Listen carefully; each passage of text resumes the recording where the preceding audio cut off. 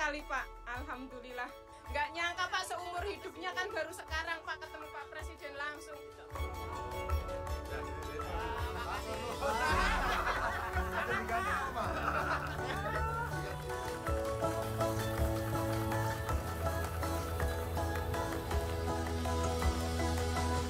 petani kan pupuknya sulit pak pupuknya sulit sudah masuk ke kuota pupuk jadi kalau bisa kalau kuota pupuk itu diterapkan tetap masih kurang pak masalah pupuk.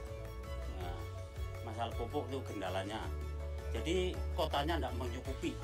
untuk Jawa Tengah lah itu kan pupuk ada jatah sehingga sangat-sangat kurang pada akhirnya petani itu beli yang non subsidi karena non, harga non subsidi itu terlalu tinggi itulah petani rugi tadi yang dikeluhkan pupuk.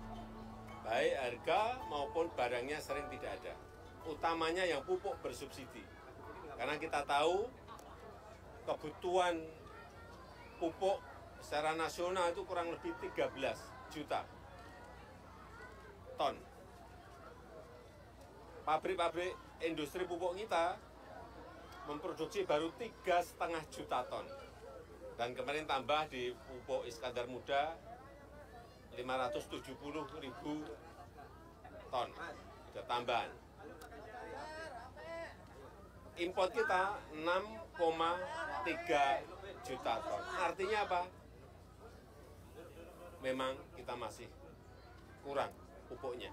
Ini yang nanti akan segera kita usahakan tapi kita juga semua harus tahu tempat bahan baku maupun produksi pupuk ini baru perang itu Rusia dan Ukraina. Ini problem yang dihadapi semua negara di dunia. Ya, saya rasa itu.